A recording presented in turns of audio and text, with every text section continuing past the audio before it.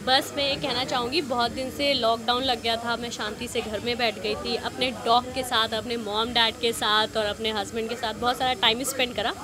Now it's time to back in industry और मैं वापस दो फ़िल्मों के साथ वापस आ रही हूँ। एक तो ये मेरे पापा, जो मेरे लिए बहुत ही प्यारा टाइटल है, भोजपुरी इंडस्ट्री में और दूसरा मंगलसूत्र पार्ट टू है ये।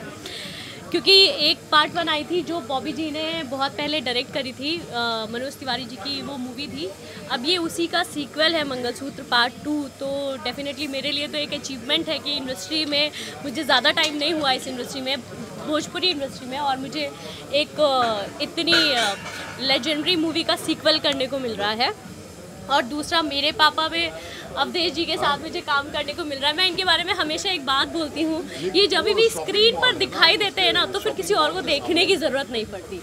क्योंकि आप जब भी स्क्रीन पर रहते हैं तो आप पूरी स्क्रीन को एकदम ग्राफ करके रखते हैं आपकी पर्सनालिटी आपका डायलॉग डिलीवरी ऑब्वियसली आपसे सीखने को बहुत कुछ मिलता है। अपने पापा की बेटी बनूँगी और उनके साथ इस जो मूवी के इमोशन है, जो जो मेरे पापा का जो किरदार है और उसके जो इमोशन है, वो वो मेरे पापा का इमोशन जब तक एक बेटी नहीं जिएगी, तब तक उस उस प्यार उस प्यार को, उस इमोशन को जस्टिफिकेशन नहीं मिलने वाली। तो ये बेसिकली एक बेटी और एक बाप के बीच का गिव एंड टेक होगा। उनके इमोशंस होंगे, उनकी जनरी जनरी होगी ये जो हम देखने वाले हैं इसमें। दर्शकों से तो मैं रिक्वेस्ट करूँगी कि मेरे पापा को अपने पापा जितना प्यार दें, बहुत सारा प्यार दें और इस मूवी को जल्दी हमारी फ्लोर पर जा रही है। इस मूवी को सुपर डुपर हिट बनाए। उस फ़िल्म की बात चल रही है, जिसमें इतनी संवेदनाएँ हैं, इतनी ऑथेंटिसिटी है और ये हमारे आम जीवन की कहानी है, हर घर की कहानी है।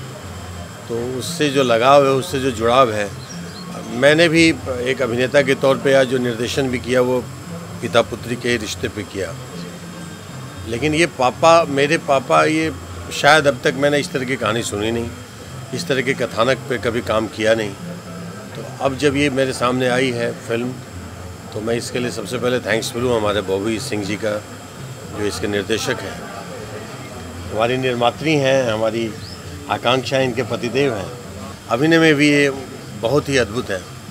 तो एक संपूर्ण एक परिवार मिला है। मुझे लग रहा है कि शायद ये फ़िल्म बने तो उसका क्या प्रारूप होगा, ये तो मैं भविष्यवक्ता नहीं नहीं कह सकता हूँ। लेकिन जहाँ तक एक आज तक के अनुभव के आधार पर जो सोच रहा हूँ कि शायद मेरी ज़िंदगी की सबसे स्वर्णिम फ़िल्म होगी मेरे पापा। मंगलसूत्र जो है ना इसमें भी काफ़ी कैरेक्टर हैं, उसमें भी अवधेश जी हैं, अवधेश जी हैं, और वो बहुत यूनिक स्टोरी है। हमारा हीरो जो है ना गूँगा होता है सडनली मालूम पड़ता है पूरी फ़िल्म में गूँगा है। एंड में मालूम पड़ता है वो गूँगा नहीं होता है। एक कैसे एक प्यार वो एक्चुअली मंगलसूत्र एक ट्रू लव स्टोरी है।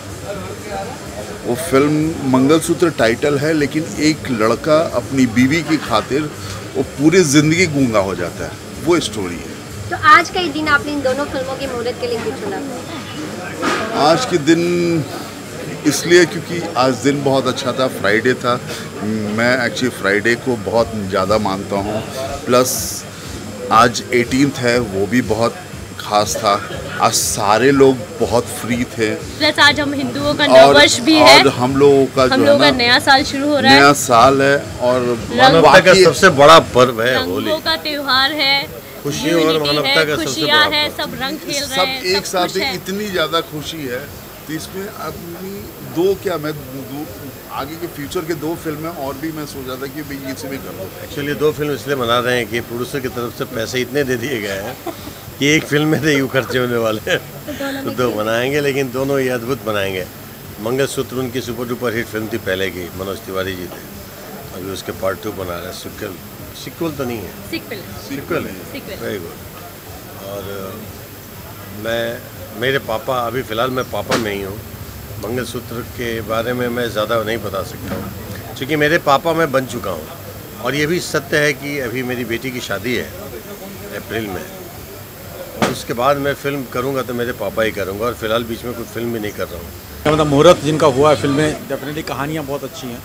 और मतलब जो आजकल हमने लॉकडाउन के दौरान देखा कि ओटीटी पे क्राइम मर्डर और इस तरह की कहानियाँ मतलब ज़्यादा इन्होंने अपनी जगह बना ली थी। लेकिन कहीं ना कहीं जो हमारी इंसानियत की सच्चाई है, जो हमारे इमोशंस हैं, जो जो दिल को छूने वाली बातें हैं, वो कहीं मिसिंग हो रही थी तो मैं उस पर स्टिक रहा और ये कहानियाँ मैंने क्रिएट की और ये बड़ी खूबसूरत कहानियाँ हैं और जो रियली जो रिश्तों को एकजुट होना सिखाती हैं, बांधना सिखाती हैं।